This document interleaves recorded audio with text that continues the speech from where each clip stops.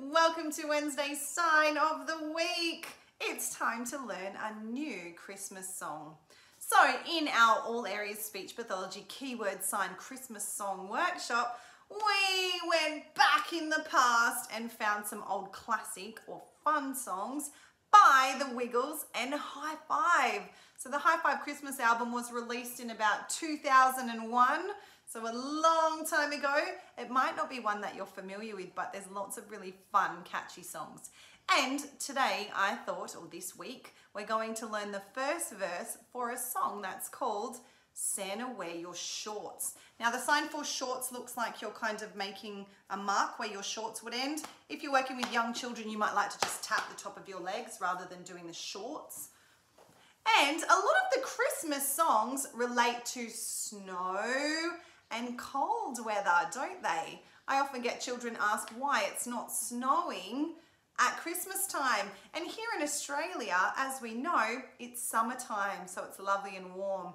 So I was trying to find a nice song uh, that resonates with our lovely hot Aussie summer. So we're going to learn some keyword signs that go along with the song Santa Wear Your Shorts. Now, it starts off by saying, we all love, the sign for love looks like this, we all love a warm, warm Christmas. So take your fist and wiggle it on your cheek, on your dominant side. We all love a warm, warm Christmas.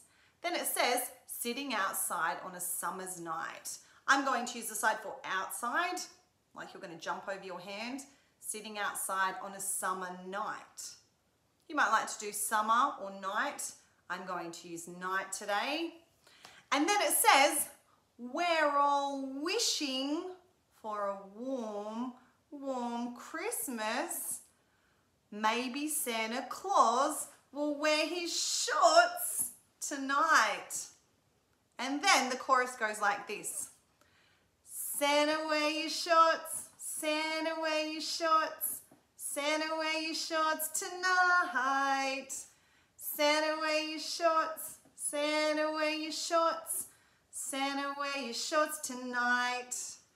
So because it's hot here in summertime in Australia, this song is all about Santa wearing the appropriate clothing when he comes to visit us here in Australia or Australia. Thanks for joining us for verse one and I'll show you some more signs that go along with this song next week and then we might try and do it with the music or with the song. Bye.